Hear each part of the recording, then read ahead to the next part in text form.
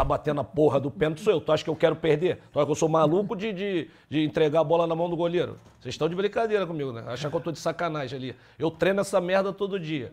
Então não vem de papo Ô, ô, furado. Ô, Djalma, tudo bem, você treinava, você era gênio, cara, isso era uma coisa absurda. Mas, Benja, se o goleiro pula, Benja, ali é mais fácil ela entrar devagar no alto. Mas deixa, eu deixa eu te Não, falar. devagar e no alto. Não, tudo bem. Não pode ser rasteira, não pode ser forte, porque pode pegar na perna. É- É devagar no Eu alto. concordo, eu concordo. Mas deixa eu falar. Piscava ou não? Não come. Quem tem medo disso não come. Porra. Não come. Não O joga. o Djalma- Faz que nem o seu Pepe falava. Ah, estão com medo? Manda um fax então, nem vai. Quando ele olhava nego assim na preleção, já, já é, é Guarani e Palmeiras. Ele, pô, Palmeiras, Edmundo, Evaí, Zinho, César Sampaio, Mazinho. Aí ele já via alguém assim na preleção meio igual. Eu falei, vem cá, tá com medo? Já manda um fax e avisa logo que tu nem vai.